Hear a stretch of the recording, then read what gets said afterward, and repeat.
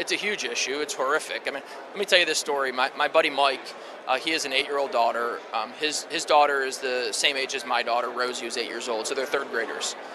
At his daughter's school, they uh, split the kids into what they called affinity groups: the black kids, the white kids, the Hispanic kids, the Asian kids. And the name of the affinity group for the white kids was bystanders and oppressors. My job. You know what? Let's get right into it. He's lying.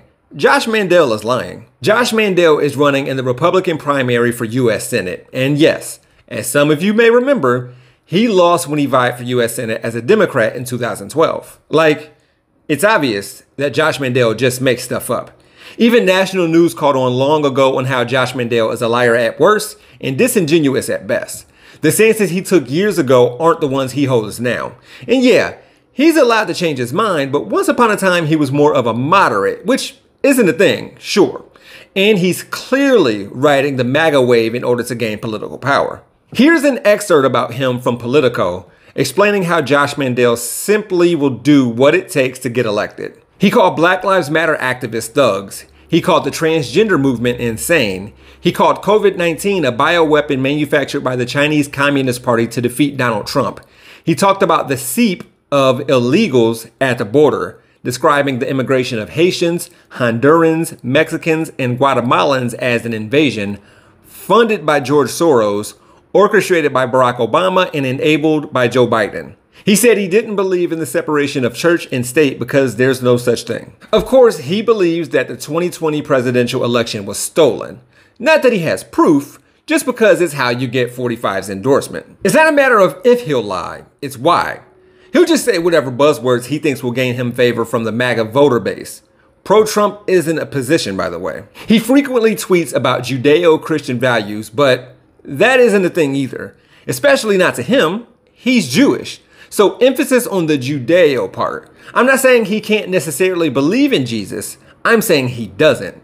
Yet he hides it in order to appeal to conservatives. When it comes to critical race theory, the new move is to acknowledge that CRT isn't being taught at the K 12 level. After all, we've been at this for a while now, and no one has presented an excerpt from any book written about this framework, which instructs teachers to call white kids oppressors and black kids oppressed. They're now saying that tenets of CRT are being taught in school. In other words, it's light versions. You know, how diet versions of something is the something. It's been said before, up to 80% of teachers in the US are white, and almost half of US students are white. And we're suddenly supposed to believe that white teachers are making white kids feel bad and guilty? That's not the white America I know. Here's what I mean more Ohio stuff for you. Y'all want to know how I knew that the owners of the Cleveland Guardians weren't honoring Native Americans and the indigenous peoples of America by nicknaming their team the Indians and featuring Chief Wahoo on merchandise? Because US teams never honored white people the same way. There's no mascots of a white character or caricature. Since when did European Americans not exalt their image and likeness, e.g., money, statues, and history books? They're not suddenly going to call their kids bystanders and oppressors. Anyway, Josh Mandel is lying about his friend's daughter and the affinity group. I wonder if this friend of his is even real. For Rebel HQ, I'm Jeff Wiggins. My architect knows Japanese. For more from the Young Turks, stay right here.